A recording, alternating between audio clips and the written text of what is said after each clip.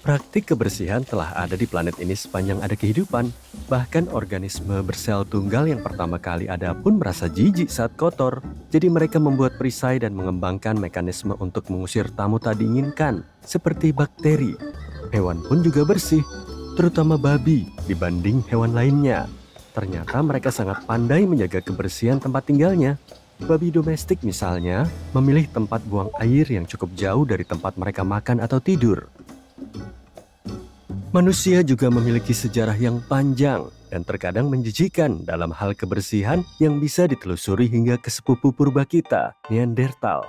Ada bukti bahwa bahkan lebih dari 60 ribu tahun yang lalu, mereka tampaknya sangat berusaha menjaga gigi mereka dalam kondisi baik Dua fosil gigi Neanderthal menceritakan kisah ini melalui beberapa lekukan aneh yang jelas dibuat oleh sesuatu yang runcing, seperti tusuk gigi. Lalu ada Venus dari Willendorf, patung kuno mungil berusia sekitar 25.000 tahun yang ditemukan di Austria. Fungsinya masih menjadi misteri. Para ilmuwan tidak tahu apakah itu karya seni atau punya makna spiritual. Tapi patung ini memberi kita beberapa indikasi tentang praktik kebersihan kuno. Tak ada cara untuk memastikannya, tapi tonjolan dan lekukan di kepala patung itu mungkin mewakili kepang. Para ilmuwan tidak tahu seberapa sering orang mencuci rambut mereka saat itu, atau apakah mereka menggunakan produk pembersih. Tapi fakta bahwa mereka meluangkan waktu untuk menata rambut menunjukkan sedikit perhatian ekstra yang mungkin tidak dimiliki spesies lain. Sejujurnya, kemungkinan besar pendorong praktik kebersihan di masa prasejarah adalah kutu. Lebih jauh lagi kita bertemu dengan bangsa Mesir yang tentunya jadi nomor satu dalam praktik perawatan diri kuno. Bahkan menurut sejarawan Yunani Herodotus, sekitar abad kelima sebelum masehi, orang Mesir kuno adalah kelompok yang paling bersih dan sehat. Kenapa begitu? Karena mereka memastikan untuk mandi dua kali sehari agar menghindari masalah kesehatan.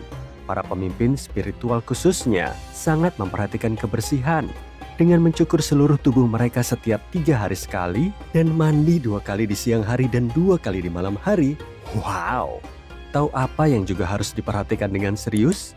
Menyukai video ini dan berlangganan saluran ini yang tidak butuh waktu selama pemandian Mesir kuno. Orang Mesir kuno juga tidak hanya mengandalkan air, mereka memakai parfum agar tetap segar.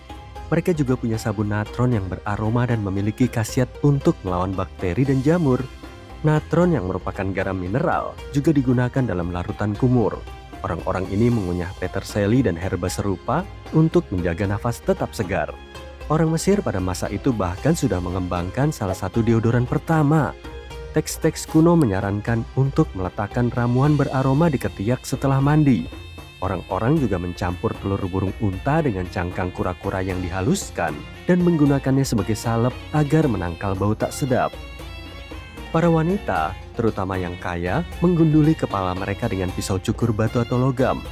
Memilih rambut palsu yang terbuat dari rambut manusia untuk melindungi kulit dari sinar matahari dan menghindari kutu. Mereka yang membiarkan rambut alaminya sering menggunakan ekstensi rambut atau wig yang diikat dengan lilin lebah dan resin. Bahkan ada wanita yang mengenakan topi kerucut lilin wangi di kepala yang perlahan mengeluarkan aroma harum sepanjang hari. Wah, ya ampun! Sekarang kita beralih sedikit ke utara dan melihat praktik kuno bangsa Romawi.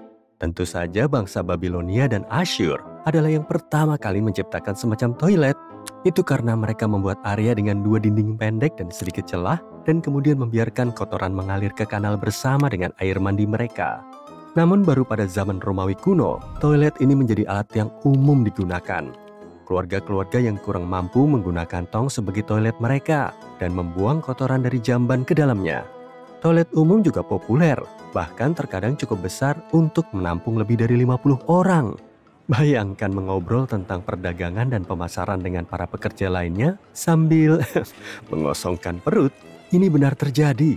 Faktanya, itulah yang dilakukan orang Romawi, dan dari situlah kiasan mengurus bisnis berasal. Apakah orang Romawi kuno menggunakan tisu toilet? Tidak, tapi mereka menggunakan spons bertongkat yang disebut tersorium untuk membersihkan diri usai buang air. Alat ini bisa ditemukan di kamar mandi umum, tapi bagaimana tepatnya alat ini digunakan masih menjadi misteri.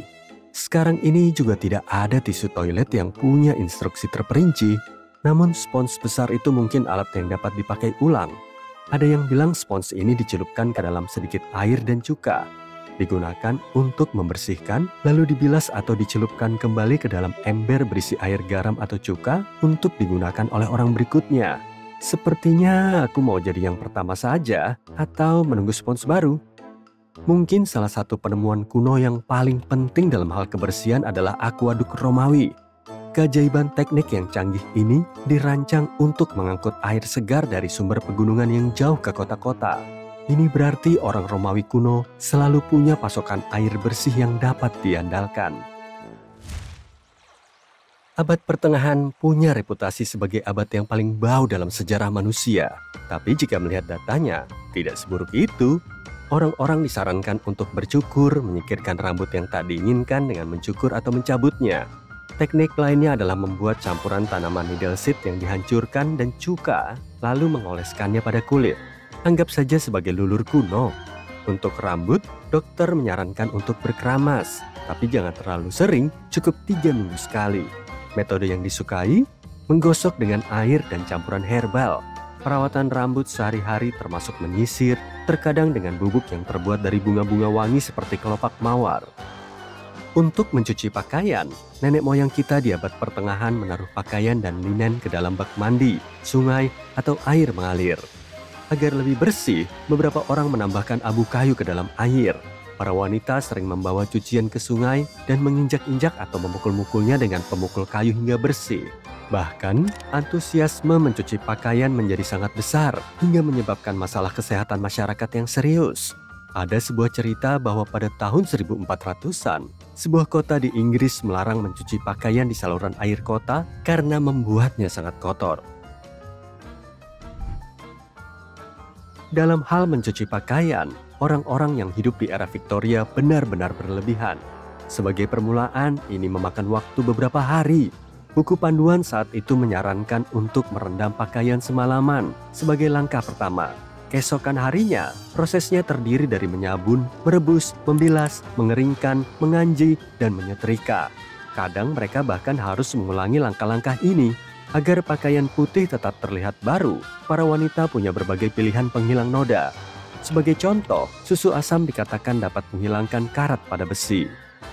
Setiap pencucian juga melibatkan tahap pembiruan. Pakaian putih direbus atau disiram dengan air yang punya sentuhan pewarna biru. Hal ini membuat pakaian yang menguning terlihat lebih putih. Menariknya, kamu masih bisa menemukan produk pewarna biru pakaian saat ini Buku panduan lain memberi tips tentang pemutihan pakaian. Katun dapat diputihkan dengan merendamnya dalam buttermilk atau menambahkan terpentin pada pencucian pertama. Kain muslim butuh campuran bahan kimia setelah perebusan sabun pertama, diikuti dengan penjemuran. Pada waktu hampir bersamaan hiduplah salah satu wanita tercantik dalam sejarah, Sisi dari Austria. Dia terkenal karena kebersihan pribadi dan rutinitas perawatan dirinya. Atributnya yang paling dikenal adalah rambut coklatnya yang tebal dan sangat panjang, hingga sampai ke kaki. Dia butuh tiga jam per hari hanya untuk menatanya. Setiap pagi dia mandi air dingin, dipijat, dan kemudian duduk di kursi selama berjam-jam, membiarkan penata rambutnya melakukan tugasnya. Perawatan kulit Sisi juga tak kalah luar biasanya. Terobsesi untuk mencegah keriput, Sisi mengoleskan stroberi yang telah dihancurkan ke tangan, leher, dan wajahnya dia juga tidur sambil mengenakan masker khusus yang dilapisi potongan daging sapi muda mentah. Sisi juga berendam dalam minyak zaitun hangat untuk menjaga kelembutan kulitnya. Dan untuk mandi sehari-hari, ia menggunakan air yang disuling. Sisi juga membiasakan diri untuk tidur tanpa bantal karena percaya itu bermanfaat bagi kulitnya. Hmm, agak obsesif ya.